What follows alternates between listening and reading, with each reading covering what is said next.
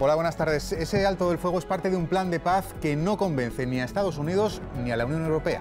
Precisamente los 27 han aprobado tras muchas horas de negociación el décimo paquete de sanciones a Rusia.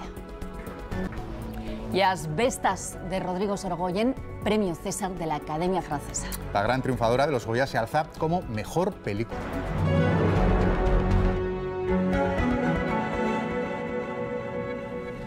Esa nueva ayuda es de 2.000 millones de dólares, incluye misiles, munición de artillería, drones. Zelensky insiste en que para ganar la guerra es vital que los aliados sigan enviando material militar. Y en Ucrania, tal día como hoy hace un año, Guadalupe Mejías, Kiev confirmaba que las tropas rusas estaban ya a las afueras de la capital.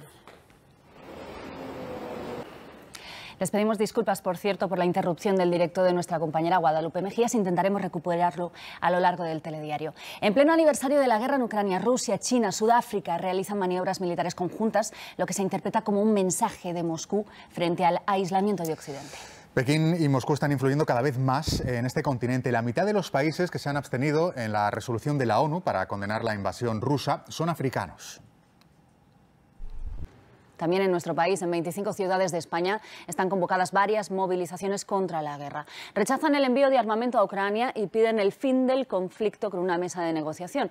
En Madrid han asistido mil personas, según delegación del Gobierno. Argelia mantiene la suspensión de relaciones con España, aunque no están canceladas. Gracias, Joan. Y convocados por los principales sindicatos, miles de personas se han manifestado en el País Vasco en defensa de la sanidad pública. Y en Colombia la deforestación sin freno de la selva amazónica está superando récords en superficie arrasada. Hay una combinación de factores, pero según los expertos la principal amenaza es la ganadería. Erradicar pensamientos y comportamientos machistas requiere de conciencia y de educación y nunca es tarde para evolucionar a una masculinidad más adecuada a una sociedad igualitaria. Para dar ejemplo a sus alumnos, algunos profesores de un instituto de Castellón se han apuntado a un curso. Los acuerdos entre Moscú y otras agencias espaciales se interrumpieron con la guerra de Ucrania, pero la NASA junto a la ESA siguen teniendo la vista puesta en la Luna y en Marte. Y para eso hacen falta astronautas. Pablo Álvarez y Sara García son dos jóvenes astronautas de nuestro país y ya están en la lista de reserva de la ESA para ese posible viaje al espacio, como hizo Pedro Duque. Informe semanal les ha reunido a los tres. Gracias, compañeros. Hola, Nuria. Hola. Estaban hablando de ese frío, un frío intenso que nos acompañará hasta mediados, por lo menos bien entrada la semana que viene. Mañana se retira un poco, pero de mucho frío. Hablaremos de frío y aparte... Y el cine español también triunfa en Francia. Asbestas, de Rodrigo Sorogoyen, ha conseguido el premio César de la Academia Francesa. La gran triunfadora de los Goya se alza como mejor película extranjera. Y no es el único premio. Albert Serra tenía nueve nominaciones por Pacifiction. Ha ganado el César a Mejor Actor para el protagonista de su película y también el de Mejor Fotografía. Hemos hablado con los dos directores.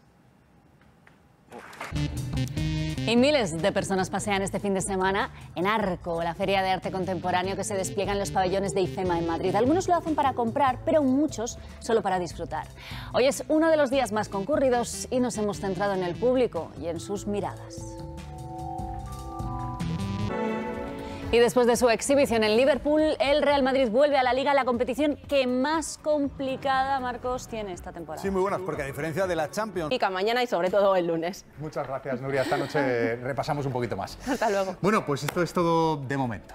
Pasen ustedes buena tarde, volvemos a las 9. Adiós. Hola, buenas noches. En el terreno político, Estados Unidos aprueba más ayuda militar para Kiev, sin aviones de combate, y Bruselas da luz verde al décimo paquete de sanciones, el más duro contra Rusia. Pero hoy la actualidad nos deja también alguna alegría y es una gran noticia para el cine español. La niña Sofía Otero ha ganado el premio a la mejor interpretación en la Berlinale. El nuevo envío de armamento que Washington ha aprobado para Ucrania eleva más de 30.000 millones de dólares la ayuda militar de Estados Unidos a Kiev en un año. Unos envíos que también pueden conllevar riesgos.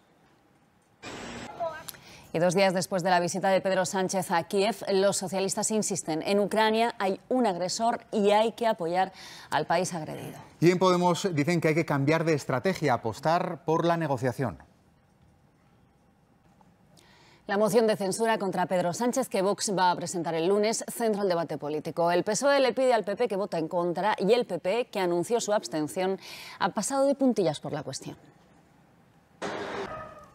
Y el bullying que sufrían los gemelos de Sayent podría ser una de las causas del suicidio. Y todo está preparado para ese mobile. Se inaugura el lunes, pero este fin de semana ya hay actividades. Y ya se nota sobre todo en el aeropuerto de Barcelona. Están reforzando los servicios, también llegan muchos más vuelos.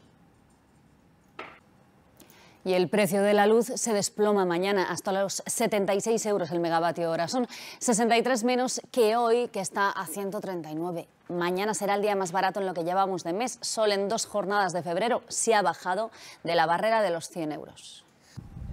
Nieve, pero sobre todo mucho frío en toda España. Una de las comunidades más afectadas por las bajas temperaturas ha sido Castilla y León incluso se intensifica el lunes. Bueno, se pone la piel de gallina. Muchísimas gracias, Nuria. hasta mañana. Adiós, hasta luego. Les avanzábamos al principio del telediario esta buena noticia, buenísima. La española Sofía Otero ha ganado el premio a la mejor interpretación en la Berlinale por la película 20.000 especies de abejas de Estivaliz Urresola. Y no ha sido el único triunfo español en el Festival de Cine de Berlín. Enfila su recta final abriendo al público general este fin de semana. Los aficionados al arte se mezclan con coleccionistas y profesionales en los días más multitudinarios. Pues hasta aquí el telediario. Tiempo ya para informe semanal. Alex Barreiro, buenas noches.